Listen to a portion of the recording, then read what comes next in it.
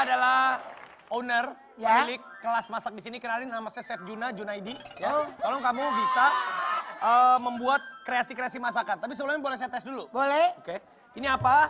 Sayur. Hah? Sayur-sayur apa yang dinanti-nantikan oleh banyak orang? Tebak-tebakan mulu lu ah. Ayo. Sayur-sayur apa? Sayur apa ya? Sayur subuh-subuh tunggu buka puasa. Pintar. Apa? Cabe. Ah, ini buat kamu. Ya. Cabe deh. ini kamu tahu ini apa? Wortel. Ah, kamu suka? I like. Oke. Jadi Karena dari- buat mata kan, Iya. bagus. Ini bagus sekali buat mata kita. Supaya mata kita awas melihat yang cantik-cantik. Oh. Oke kamu sini. Saya ingin lihat bagaimana cara kamu mengkreasikan masakan-masakan yang paling enak. Oke. Oke. Baik. Pertama-tama Iya. harus ada kompor ya. Iya. Karena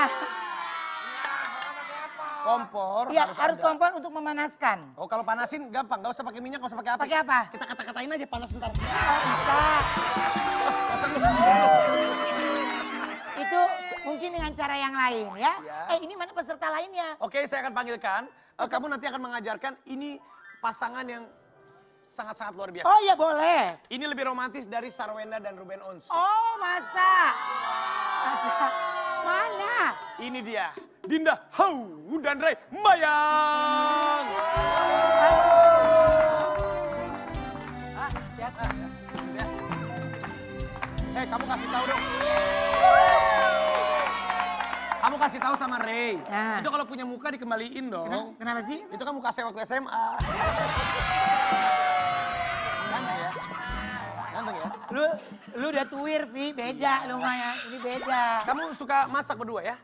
Eh, masak nggak nggak sering tapi sekali dua kali Di ada. rumah masak apa sih? macam-macam ya. Nah, sih. Macem-macem. Macem masak. Eh, kalau nggak nggak ada yang nyanyi. Jadi Ray sama Dinda ini sangat terkenal romantis loh.